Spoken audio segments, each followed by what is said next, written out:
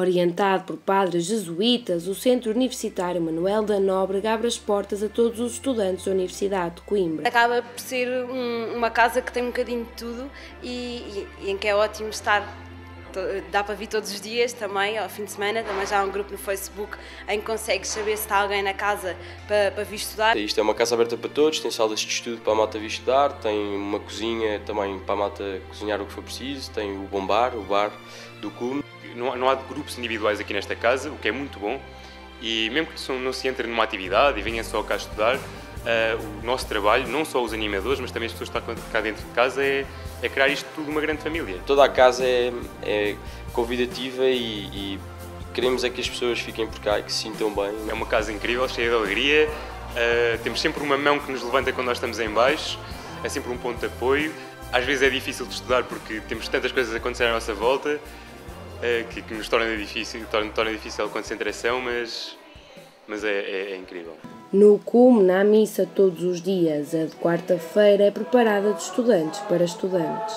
A quarta-feira é de facto especial porque, para além de ser preparada pelos animadores do CUM, com cânticos, com, com as leituras também são lidas por nós, etc. E até o, o, o discurso dos padres é mais dirigido aos universitários.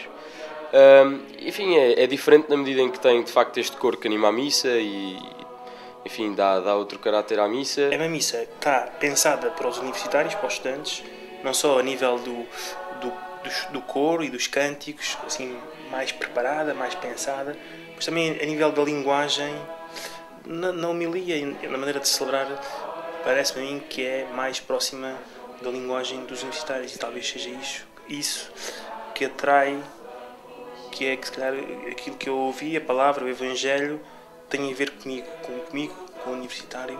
O facto do discurso também ser dirigido a nós também é ótimo, porque os padres que estão aqui connosco estão super dentro da, da vida académica e conhecem-nos bem, então sabem aquilo, sabem as coisas que nos afetam, os nossos problemas, as nossas felicidades e pegam muito nessas coisas para falar connosco, que é ótimo. O centro universitário ultrapassa as suas paredes e insere-se também na Missão País. É uma semana de missão sobretudo de voluntariado, fomos para as aldeias, estamos lá a semana toda e depois estamos lá a fazer eh, atividades de voluntariado com as pessoas, eh, de ajuda eh, nas aldeias, ver o que é que é preciso, nas escolas. E uma coisa muito curiosa e bonita na Missão País é que há pessoas também que vão descobrindo a fé, enfim, que entram para estas experiências um bocadinho a duvidar ou a procurar e pronto, e com, com simplicidade e vão descobrindo por si próprios que, que a fé tem sentido. Aqui no Centro Universitário Manuel da Nóbrega, os padres, secretários, animadores e estudantes recebem, acolhem e sorriem.